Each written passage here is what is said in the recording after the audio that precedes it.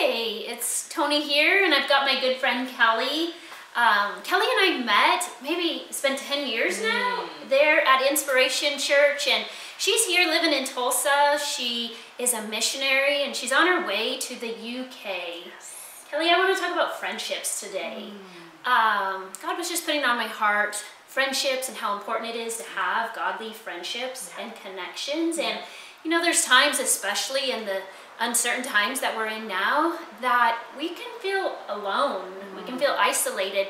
Even if you have family or if you don't have family at home with you, that alone. And what are some things that maybe from the mission field or that um, you do now that helps you to not feel so alone, Kelly, in these uncertain times? Yeah, there's been so many moments where I have felt alone, and you know, living in Australia for almost a year, I went all by myself, and you know, there were times where I just felt so alone and, and by myself, and I had to push through moments of really thinking that I was so alone. That's that's so the enemy's tactic, isn't it? Just to isolate us and make us feel like we have nobody.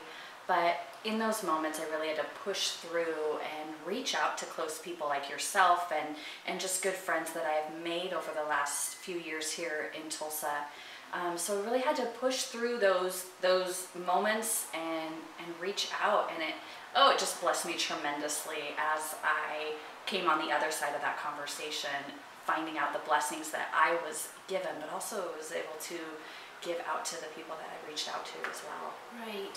Man, I can so relate to that. You know, living here in Tulsa, there's been times where I have also felt a little bit of alone, away from family, away from friends, and um, it's important to pick up the phone and make a phone call. You know, text messages are great, and we live in a society where people text. But I also think that I've been blessed by picking up the phone and calling people, and in return, um, they've blessed me. But I think I also get blessed in that conversation, and it goes two both ways. And you know, it can be a phone call, but also in times of meeting up with a friend. You know, just as we are today, and enjoying each other's company. Yep.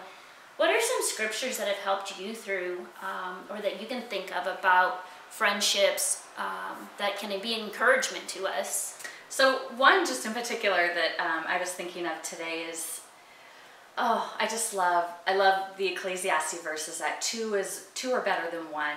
But also in Ecclesiastes 4:10 it says, if one person falls, the other can reach out and help, but someone who falls alone is in real trouble. Um, the message translation says it a little bit better. It says, if one falls down, the other helps. But if there's no if there's no one to help, tough. We need each other. God has put us in this body of Christ for a reason. We are here to encourage people, each other and, and other people and to lift and build each other up. And me and Toni and I were just going through a couple things earlier this this um, afternoon, and and we thought, I need you. You know, she was helping me do some things, and we just need each other, and and we're there to build each other up. We're there if one falls, and if we if we are isolating ourselves, then we don't have anybody. And God put each other in our lives for reasons, and and so it's so important that we just can you know look at this and go if one falls down, the other helps. And if, but if no one's there, then how can we help each other? You know. That's right. Mm. That's so good. I have a vivid mental picture of kind of you fall in a hole or you're down in a in a hole, and if nobody's there to help, how are you going to get out of that hole? And I know in uh, Romans 8 it says, you know, the Holy Spirit will get in that hole with you mm. and get you out. Mm. And and the Holy Spirit's always there, but I also know He has put friendships and godly people along our path, and I pray for godly friendships and connections that can help me in every season of life, whether it's this season, whether it's the season to come, and um, it's just encouraging knowing you've got people there who you can talk to. Absolutely. People you can talk to, but also people that you can have in your corner that you can pray with, right? Matthew 18 says, Where two or more are gathered in my name, there I am to answer and give you the things that you're praying for. yeah, you can pray for yourself and, and pray for things. For sure, God's there. But what an amazing power of the Yes. power of prayer of agreement and we're two or more. So just having those godly people in your life that can pray with you. Oh, so much power in that. Yes. Benefits of having people in your life. Prayer partners, Yes. faith friends, right? Oh, Yes. faith friends are so important. They are important. Mm, Building up our faith.